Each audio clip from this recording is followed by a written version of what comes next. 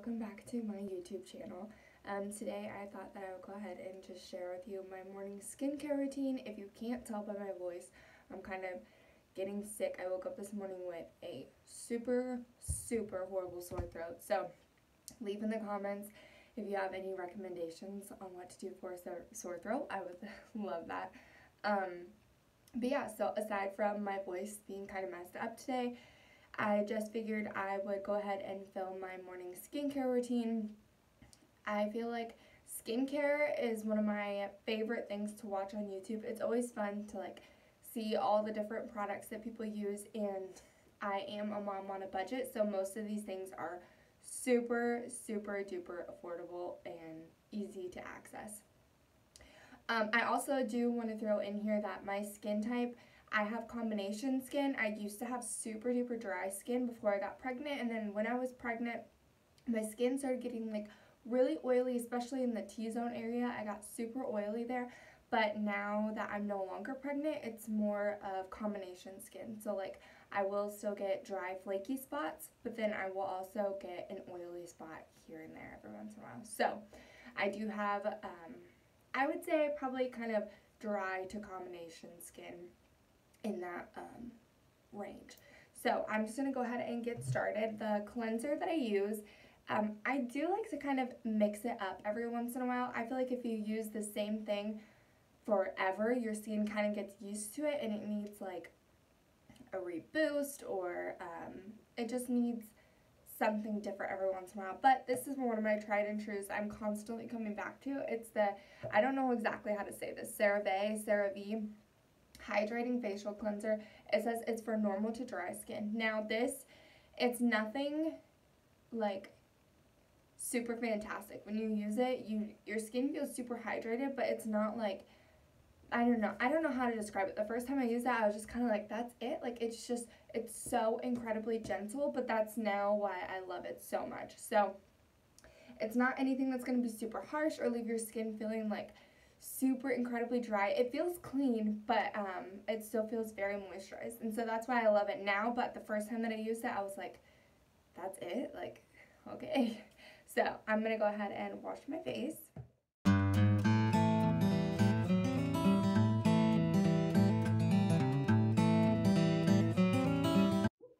My other tip is use a new rag or towel every single day.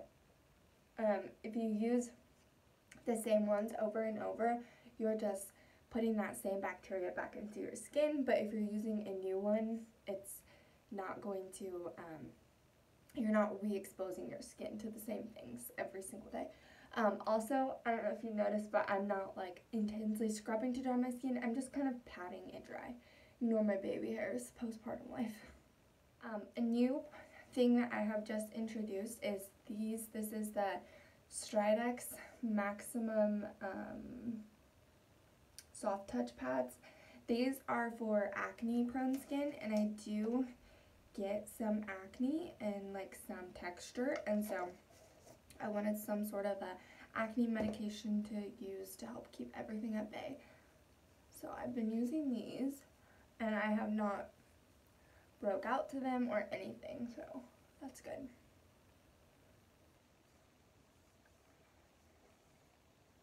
If your acne medication, like if you're having issues with it, check and see what it is because there's um, salicylic acid and then there's also benzoyl peroxide and people react differently to each one. So sometimes the benzoyl peroxide won't work for you but salicylic acid will and vice versa. So just kind of figure out what works best for you. And then I go in with my toner. This is the um, Witch Hazel um, and the St. Rose Petal and I have it in the misting version.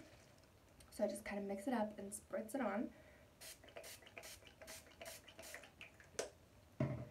That um, witch hazel has definitely changed the game for me. It really, really has helped um, clear my skin and help get rid of acne. Now I still have like large pores that I'm trying to work on and some texture bumps, but that really helped with my acne.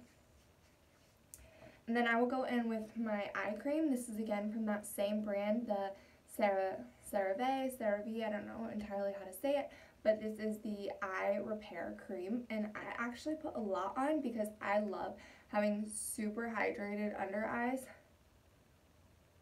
So I just squirt it on all like that and then I'll just kind of pat it in. You don't want to rub too hard because um, if you're rubbing too hard, you're obviously going to be damaging under eye and that is super incredibly delicate, delicate skin. So I just like to uh, I'll do tiny little circular motions out the farther I get and then as I'm inside I just do tiny dabs. Just to kind of make sure that everything is all soaking into the skin and we're not causing any premature wrinkles or anything. Just want to hydrate everything up. Okay. Then I go in with my moisturizer. Now this is not like my absolute favorite moisturizer. It works, it does the job, um, but I'm kind of on the hunt for a better moisturizer. This is just the Olay Whip um, fragrance-free moisturizer. That's one thing that I have found.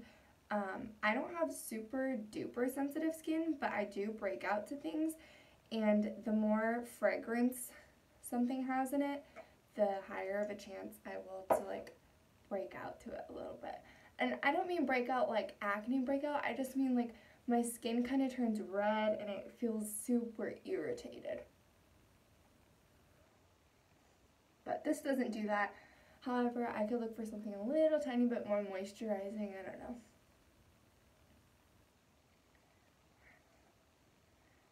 And then the very last product that I will put on my face, the most important, you need sunscreen every single day, whether you're inside, outside, summer, winter, no matter what, you need sunscreen. And this is the Neutrogena Hydro Boost Water Gel Lotion. It's SPF 50.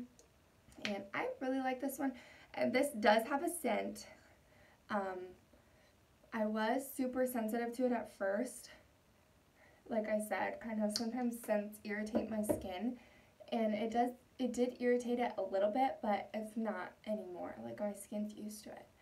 I just like this because it's super hydrating. Like, it's almost like another moisturizer on top of your moisturizer.